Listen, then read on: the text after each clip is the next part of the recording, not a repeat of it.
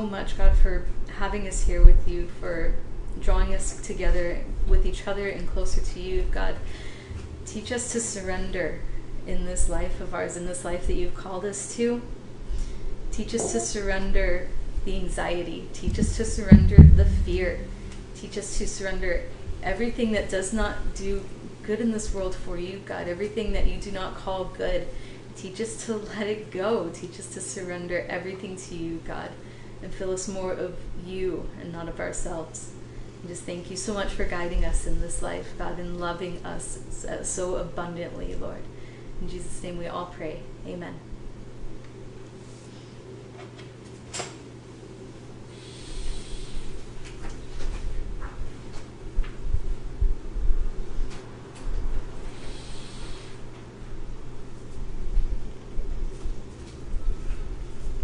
Thank you, Melanie. Oh, man. That was a blessing. Oh, my goodness. All right. Let's see if we are centered here. And, uh, man, worship was beautiful. Thank you so much, Melanie. Really appreciate it. Man, it feels so good to be able to worship on Wednesdays. And I really appreciate all that our worship team is doing for us on Wednesdays. And it's just, uh, you know, there's nothing like good worship to get you ready for the teaching of the word. So we find ourselves this um, evening in 1 Samuel chapter 8. We're just going to kind of recap 1 Samuel chapter 8 and then get into chapter 9. So uh, we'll see what the Lord has for us uh, this evening. But uh, before we get started, I just want to remind you to download uh, the church app if you have not already. Uh, the church app you can find on the Apple App Store or the Google Play Store. You could download Church Scribe and uh, simply just go to the icon that's downloaded on your device and go to the drop down menu, choose Calvary Chapel Eastvale. The icon will change to our logo and uh, then you'll be you'll have at your fingertips everything that you need to know about Calvary Chapel Eastvale and uh, as well as the website is being updated right now. We're going to be updating the website with our staff photos and some more photos of our events and some cool photos throughout the year. Uh, being out at the parking lot or at the park actually uh, for the last year. Uh, we've been gathering at American Heroes Park in Eastvale for some time now. It's been a year. I, I just can't believe how fast this just has all gone by. And uh, we find ourselves coming into the end of this uh, um, hoax, I mean, uh, pandemic, but I'm just kidding. Uh, but uh, this pandemic, seriously. And, and uh, we just think that.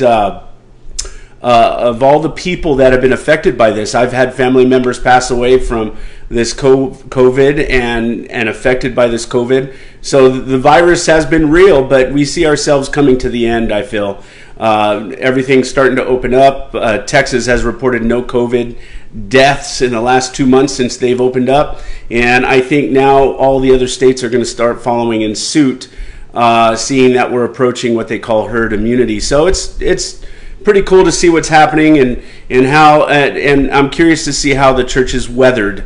Um, it's interesting. This last Sunday, I saw quite a few people. I noticed. I noticed you but uh, a lot of people I haven't seen in probably a year, and me and Pastor Ken were talking about it, and and uh, but uh, you know what, it, it it encouraged my heart because I knew that you were you were watching, you knew we were at where where your church was at, and uh, you just felt more comfortable to to be at home. That's no problem. I'm not gonna uh, you know really fault you for what is happening you know around us right now. You know, it's just uh, you know, uh, I just praise God that we had the uh, technology be able to do what we're doing today, Facebook Live, and and now uh, we're uh, we've taken it a step further on Sundays. We're live streaming YouTube Live and Facebook Live simultaneously. So uh, whether it be YouTube, uh, you know, you could tune into YouTube on your TV or Facebook, or just simply live stream through the website or the church app. So uh, both uh, are available to you, or all all three are available to you on Sundays, as well as uh, it's great to see you at the park on Sunday. So Uh, we park in our cars. Some people sit outside, some people inside. We have the donut bar, the coffee bar, and um, you know, last week the kids uh, uh, cooked up some scrambled eggs. Our youth ministry, scrambled eggs, bacon, and pancakes, and it was just a great, just an, an amazing, encouraging Sunday. This last Sunday, we had Ben Courson with us, of course, and he's always uh, a treat. He's a blessing.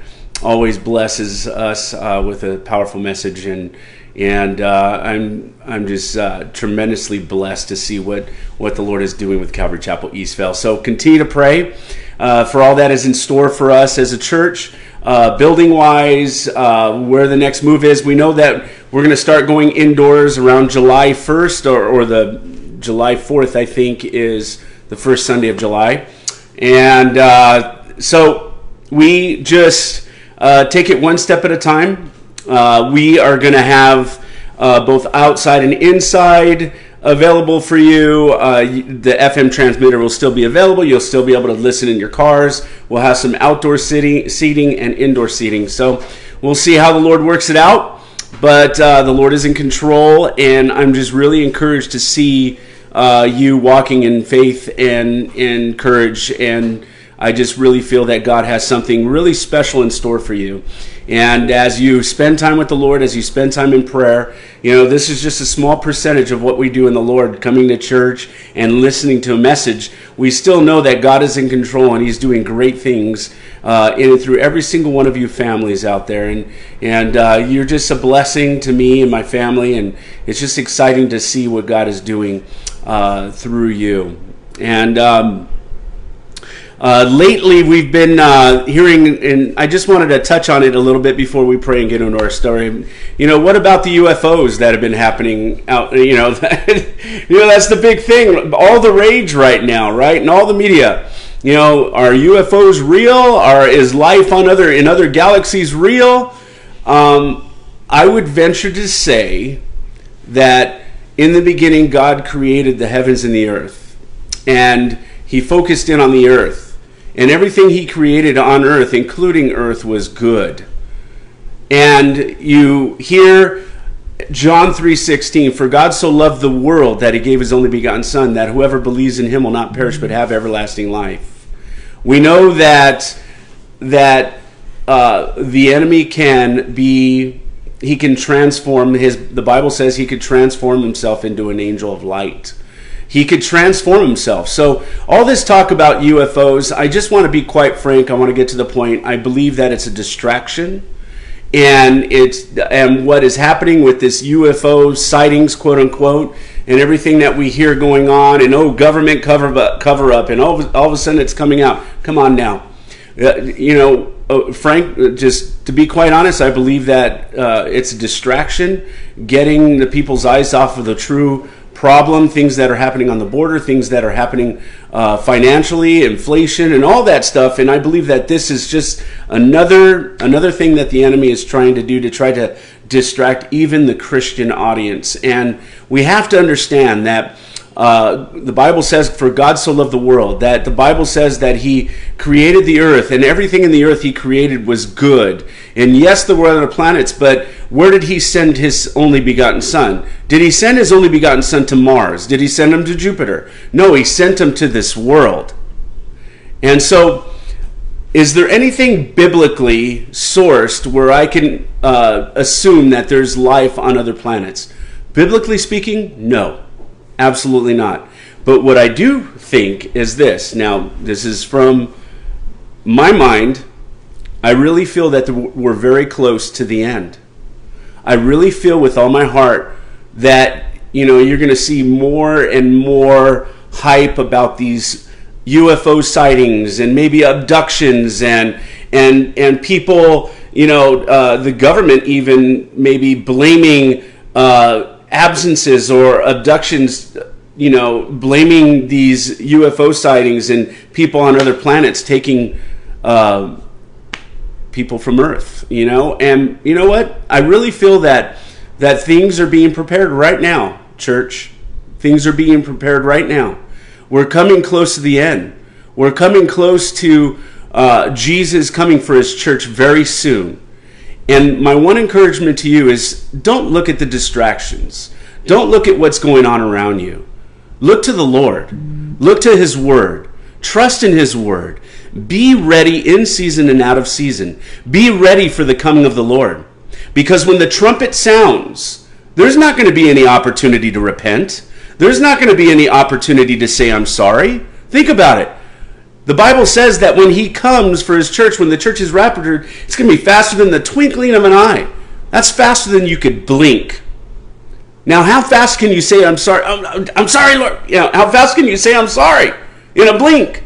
How fast is a blink? You know, how fast can you say sorry? And then on top of that, how fast can you say sorry and mean it and and and and show repentance? Come on. I believe that this world is trying to get your attention off of the Lord, the enemy, the one who could transform himself into an angel of light, the one who's a master of disguise, the one who's the father of lies. Understand this that when the Lord comes, calls his church home, when, when the, the bridegroom calls the bride, the church, and the church is raptured, the word is in the Latin rapturus, or being caught up in the air. You read 1 Thessalonians chapter 4.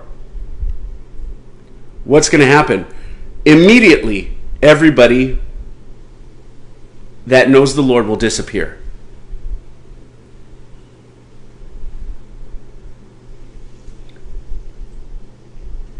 And what are they going to do? They're probably going to blame it on aliens. I really feel that.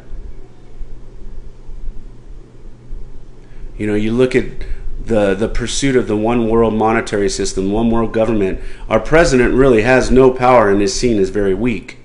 Is this going to be the time where the Antichrist begins to rise up? You saw the Dome of the Rock un, un, under fire. Where is this going to be the opportunity for the Antichrist to present himself and say, "Go build"? Because when he says, "Go build," we're gone. That's how close we are. Two people will be grinding in the field. One will be taken. One will be left. Right? We have to be ready.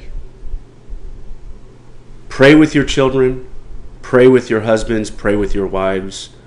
Pray, set up a systematic devotional time.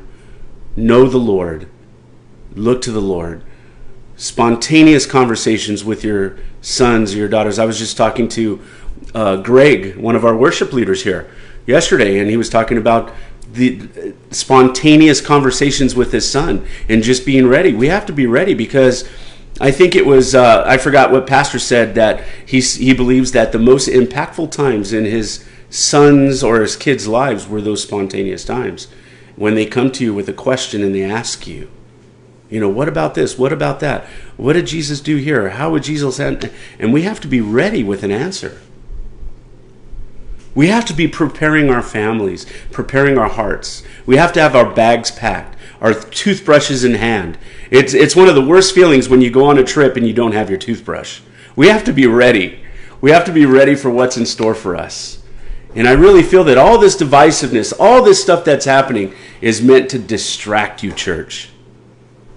Let's keep the main thing the main thing. Let's keep our eyes in the Lord. Let's keep our eyes fixed on the things of the Lord. Amen? Father, we thank you, Lord, for this day, and we thank you for your word now. As we get into your word, and we trust in what you're doing uh, this evening, Lord God, we just pray that you would continue just to fill us with your spirit, Lord. I thank you, Lord, for all that you're doing in our lives, Lord God, those things both seen and unseen, Lord. Those things, Lord, that uh, we have a tendency to uh, not understand or, or maybe not, uh, or may just happen in our lives and we don't even notice. And but Lord, you're working in the, in the even in the small things. Because your desire is to perfect in us your plan in the image of your Son Jesus Christ. We thank you, Lord, and we praise you. It's in Jesus' name we pray.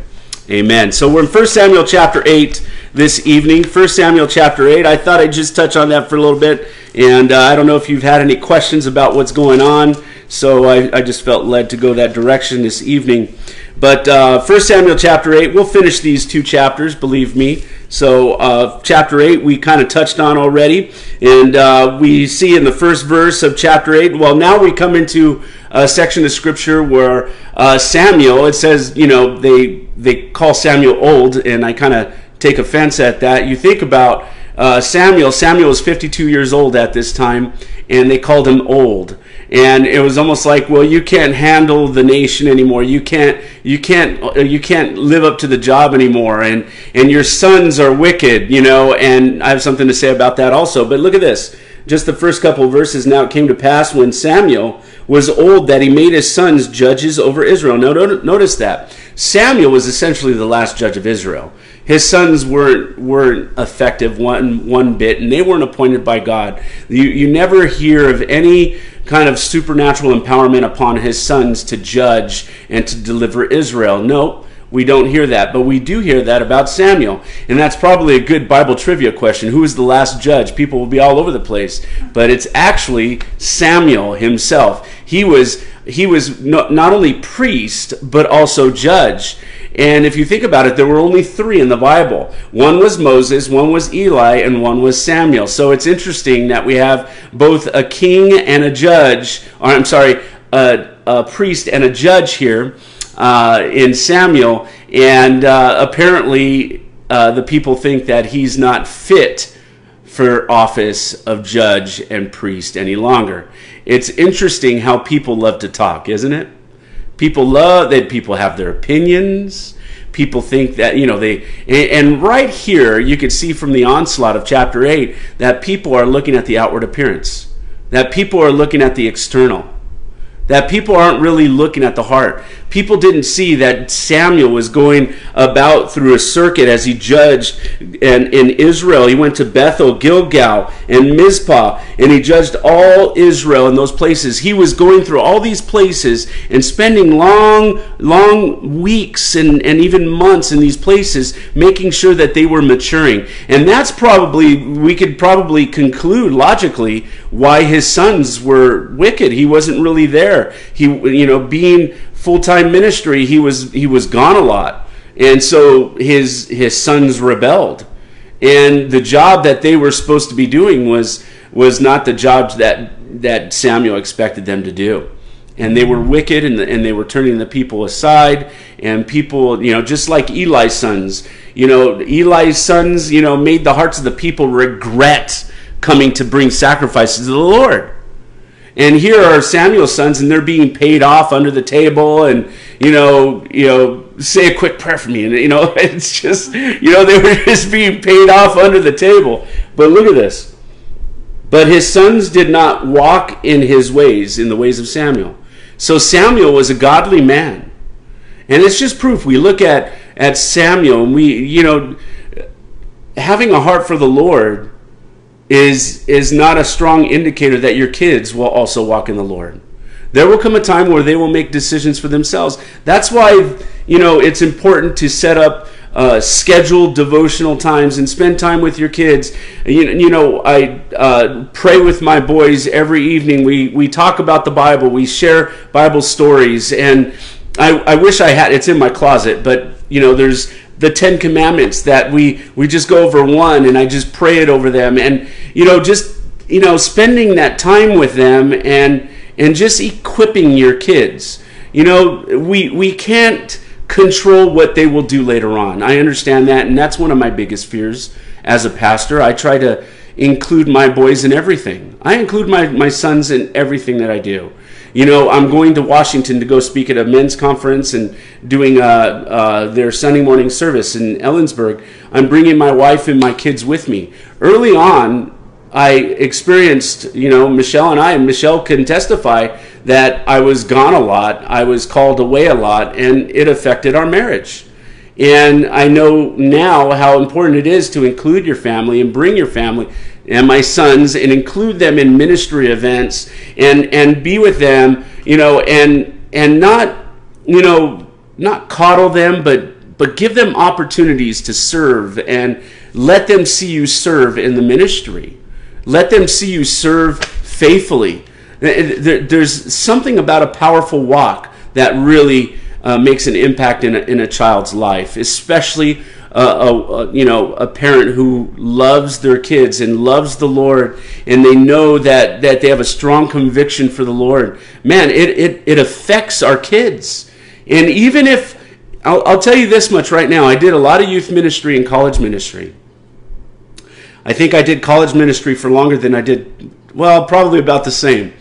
But you could see when rebellion starts to happen you could see what happens in the middle of the rebellion. And then many times in, in the college age, real life is hit. And many of the kids remembered the things that their parents told them and shared with them and prayed with them. And they realize, wow, you know what? I need to come back to the Lord. I need to honor the Lord. I need to I need to get in my devotions and and experiencing college ministry, I experienced a lot of kids coming back to the Lord. And so you you could see the impact of sharing the word of God. I don't care how rebellious your son or daughter may be. If they're not walking with the Lord, they can never eliminate the conviction of the Holy Spirit. The Bible, the word is so powerful that it stays with them. It does not return void. That means it doesn't just disappear. It's not something that they forget. It's something that they're going to remember forever. You're training your kids. And, and sometimes we as parents, we can look at our kids' lives and, and, and, oh my goodness, why did they talk back to me? Or oh my goodness, why did they do that? Or oh my goodness, look at their friends. And we start like worrying about every little thing. Now, there's, there's protective mode. There's, you know, Mom, Michelle would say mama bear mode. And yeah, okay, fine. But, you know, trust the Word of God to work through your kids' lives. Trust. Trust the Lord. There was an airline pilot that was uh, new, newly licensed, and he was flying through a storm. And all of a sudden, he started to get panicky. And what happened is he got panicked and didn't know what to do. And all of a sudden, he hears a voice in his ear. He says, Remember your instructions, and we'll take care of the obstructions.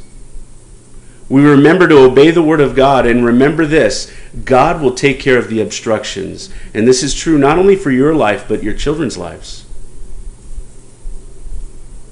Now, Samuel's boys didn't walk in the Lord, and, and they were, it says that they were wicked. They didn't walk in his ways. Now, look at this.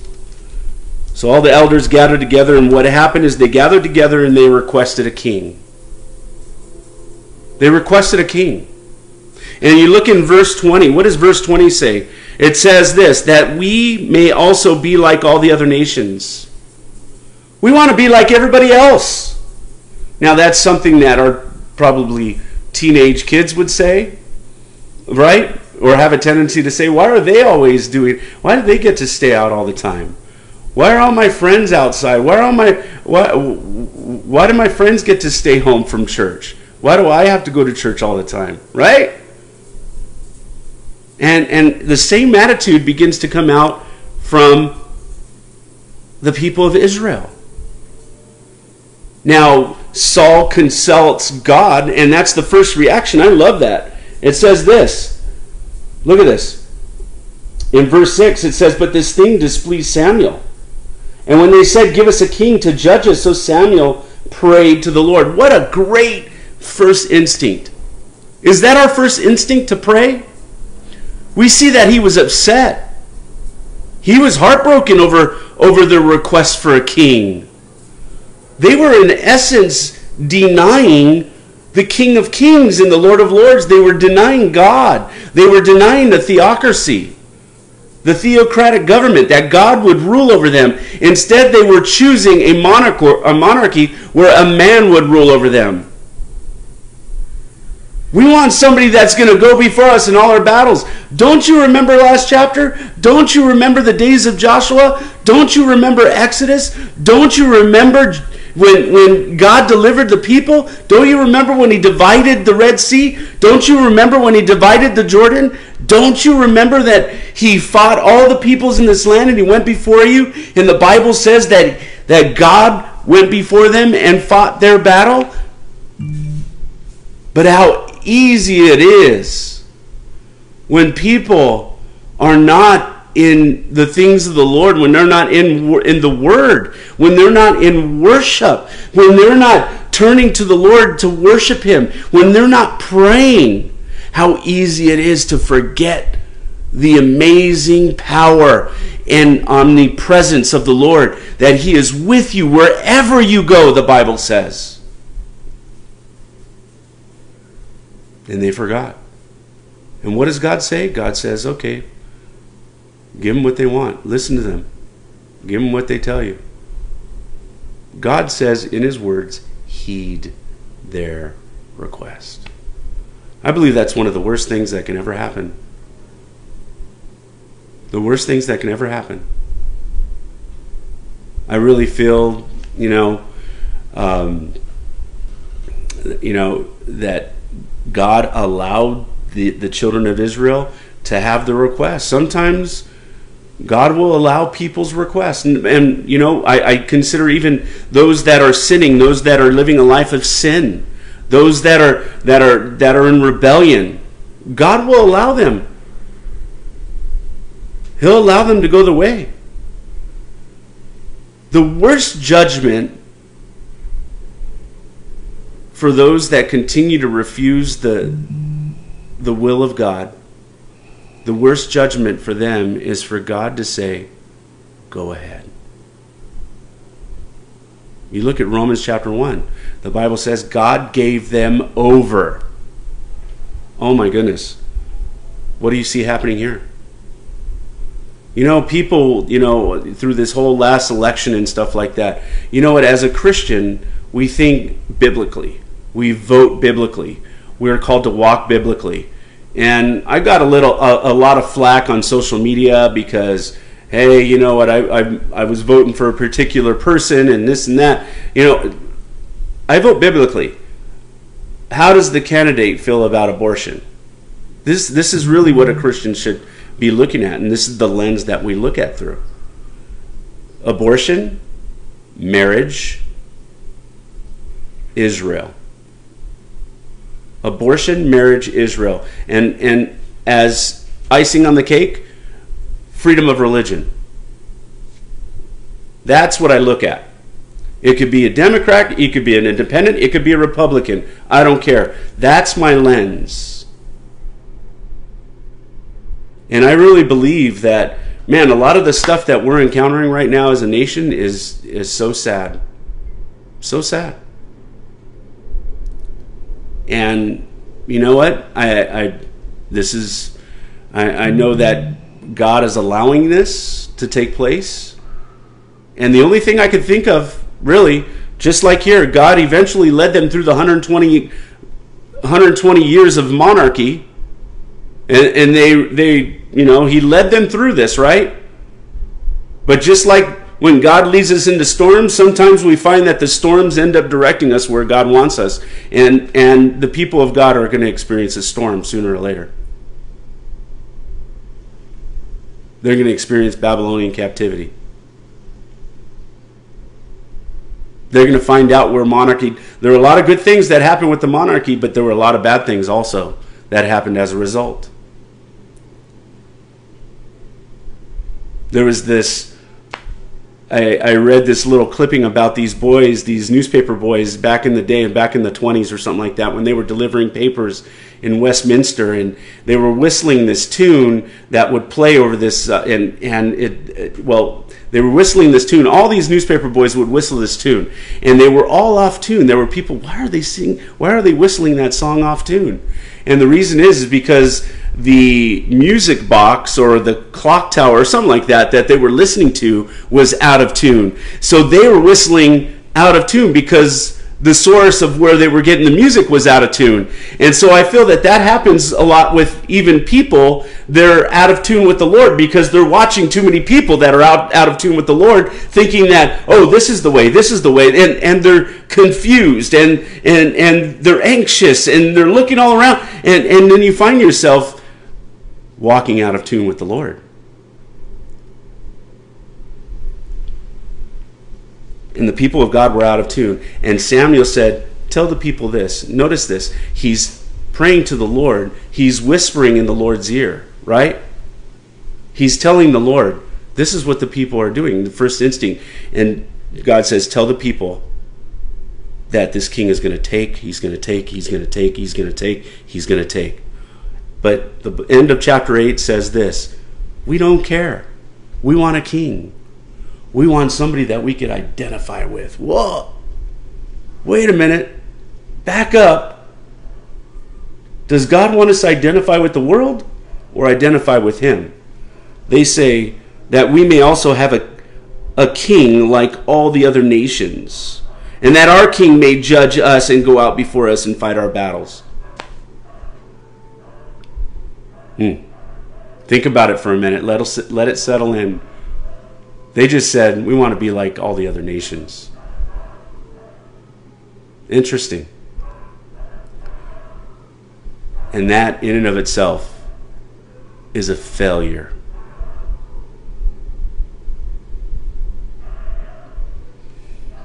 Lord, create in me a clean heart so that I may not sin against you, Lord. Lord, help me to be more like you, Lord. That should be our prayer. Lord, help me not to be so caught up with what's around me. Lord, get rid of the noise and fill me with your spirit. That should be our prayer. Not make me like him, make me successful like them. And and Lord, oh my goodness. What are we what are we using as our criteria for success? Is a house, riches, uh, a lucrative job, is are all those uh, successful in the Lord's eyes? God may bless us, but is that successful in the Lord's eyes? In the world's eyes, yes.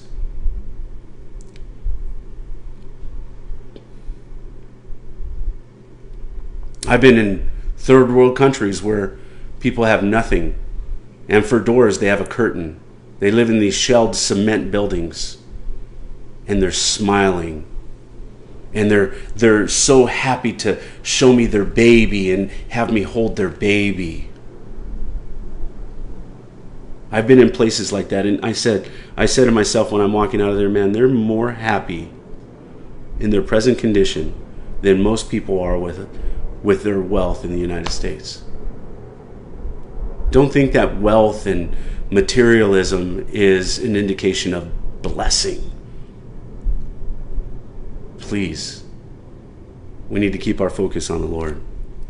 And Samuel heard all the words of the people and he repeated them in the hearing of the Lord. So the Lord said to Samuel, Listen to their voice and make them a king. And Samuel said to the men of Israel, Every man go to his city. Then there was a man in Benjamin whose name was Kish the son of Abiel, the son of Zerah,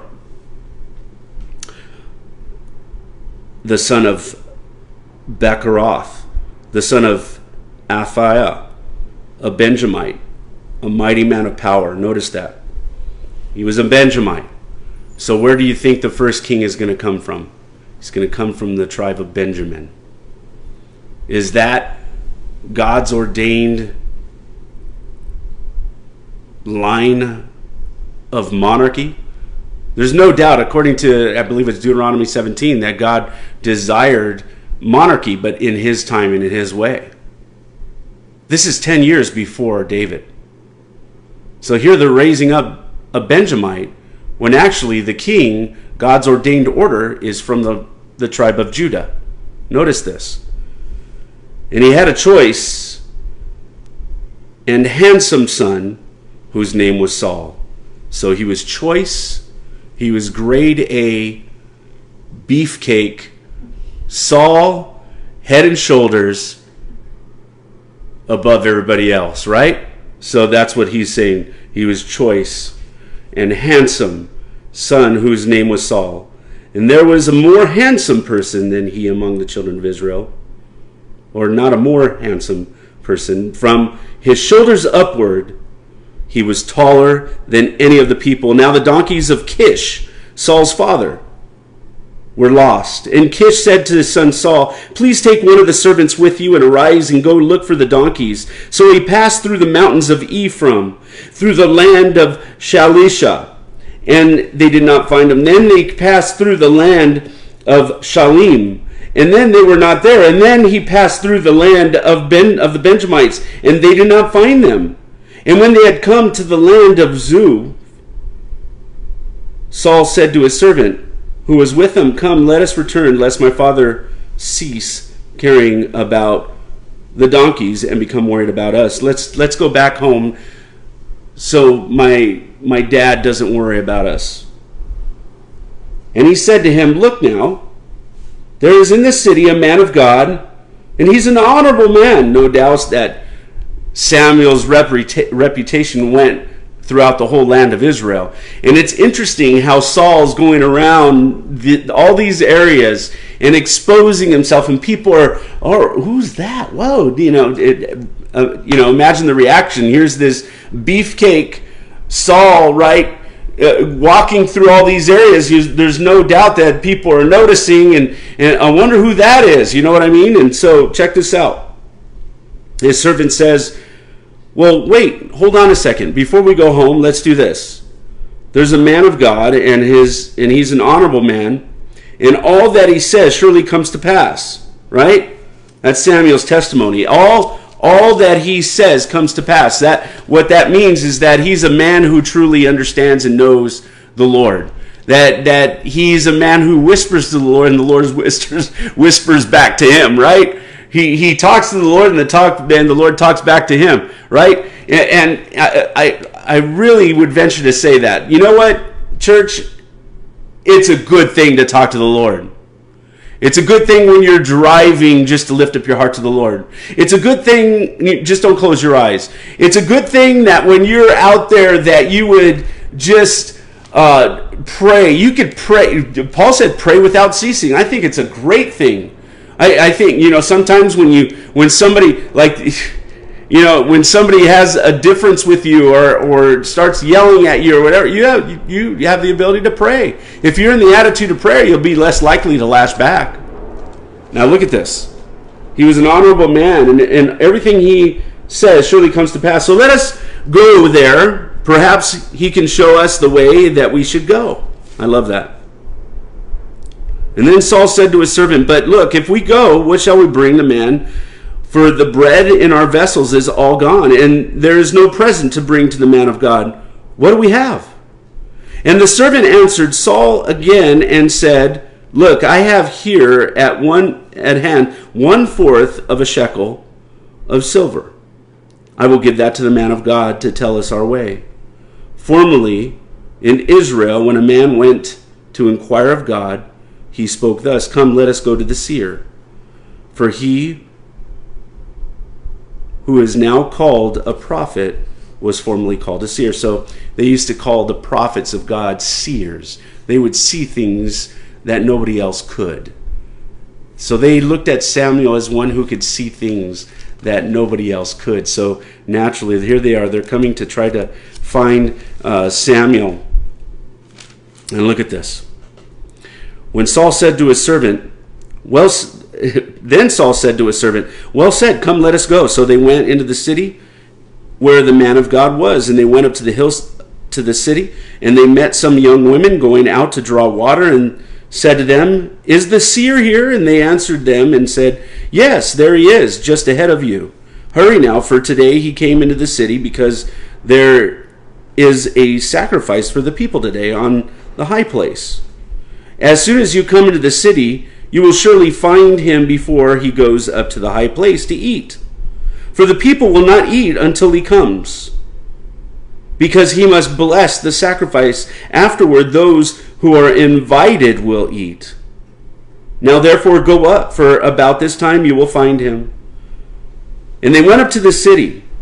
And as they were coming into the city, there was Samuel coming out toward them on his way up to the high place, and now the Lord had told Samuel, notice this, I, what I just said, look at this. Now the Lord had just told Samuel in his ear the day before Saul came, saying, Tomorrow about this time I will send you a man from the land of Benjamin, and you shall anoint him commander over my people, Israel, that he may save my people from the hand of the Philistines. For I have looked upon my people, because their cry has come to me. So when Samuel saw Saul The Lord said to him, There he is, the man whom I spoke to you. This one shall reign over my people. And then Saul drew near to Samuel in the gate and said, Please tell me, where is this seer's house? So the Lord whispered in Samuel's ear, A person who prays is a person who hears. Let's make it our aim tonight to pray with our family, to pray and lift up our hearts to the Lord.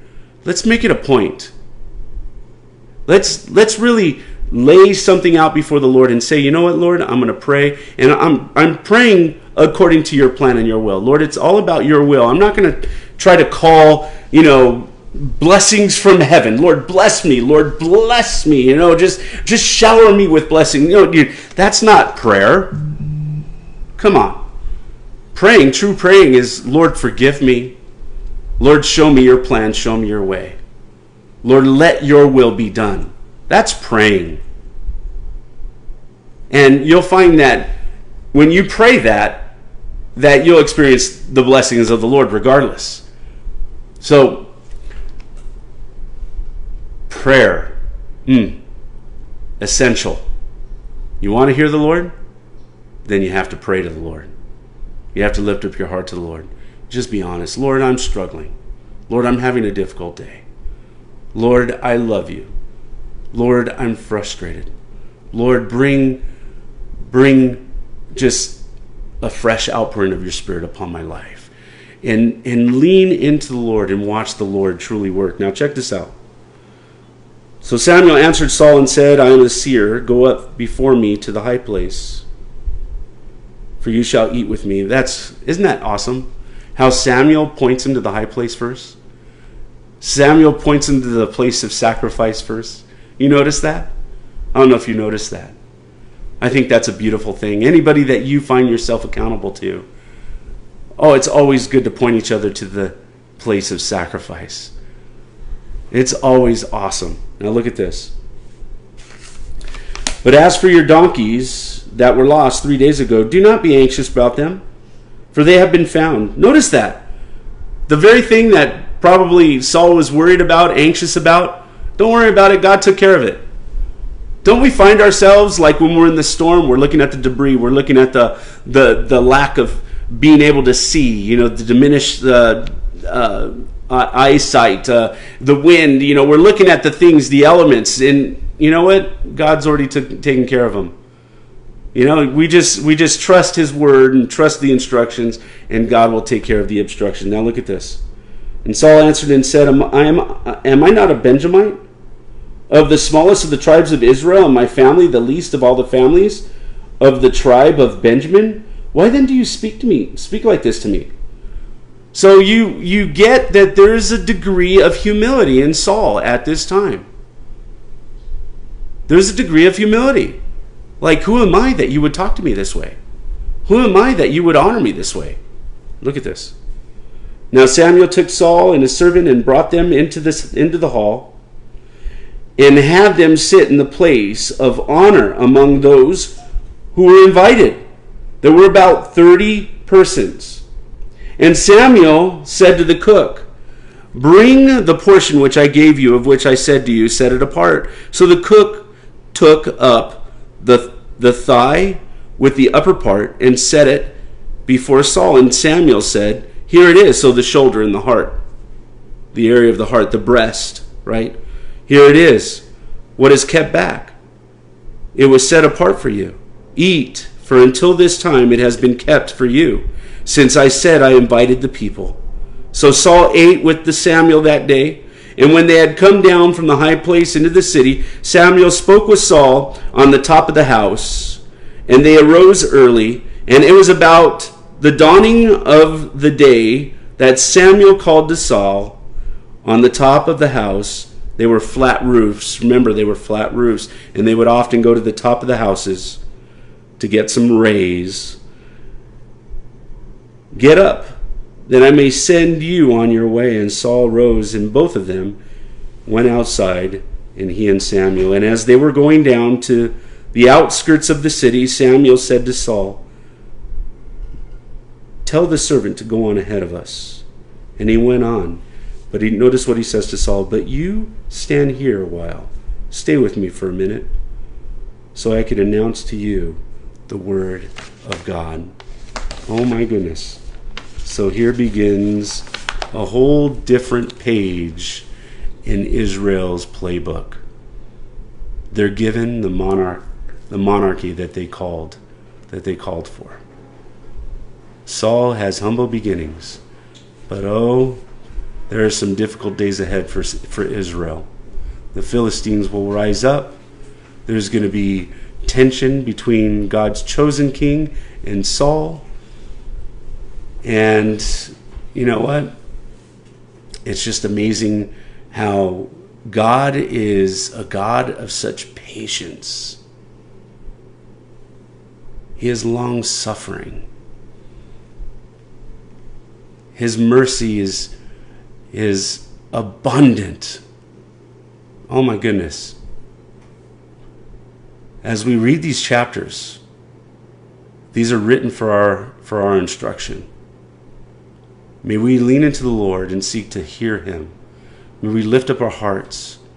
May we allow Him to take care of the obstructions. May we, may we learn of Him. May we learn of everything that He is, is seeking to teach us. And may we say, Lord,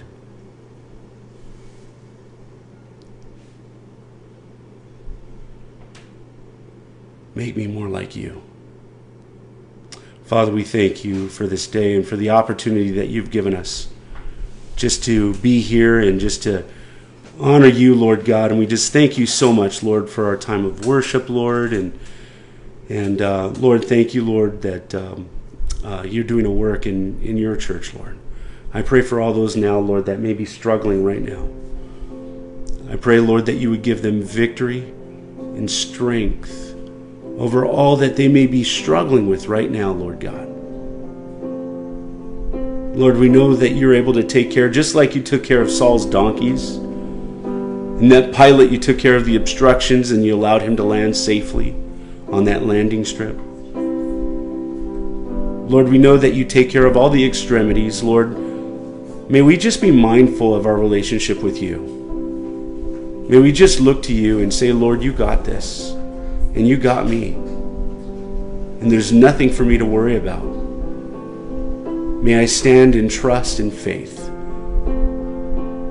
And may the fear just fall away. Lord, we thank you and we praise you for your goodness. I pray if there's those that have been watching this evening, if you don't know the Lord and you want to receive the Lord, I want to pray with you right now. Just repeat this prayer Dear Jesus, please forgive me because I know I'm a sinner. Thank you, Jesus, for loving me and dying for me. Fill me with your Holy Spirit.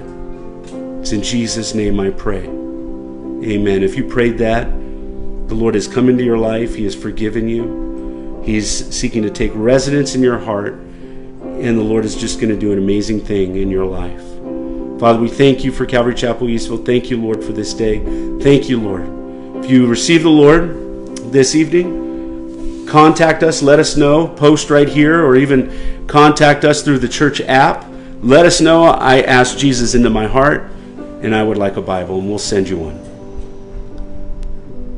Father, we thank you. We praise you. It's in Jesus' name. Amen. Amen. All right. God bless you, church. I love you so much. And uh, it's a blessing to have Melanie here. Oh, my goodness. All right. We're going to end with a worship song? All right, let's do it. We're going to end with a worship song. God bless you, church.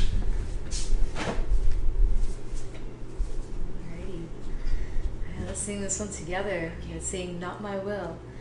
Not my will, but yours be done. Not my strength,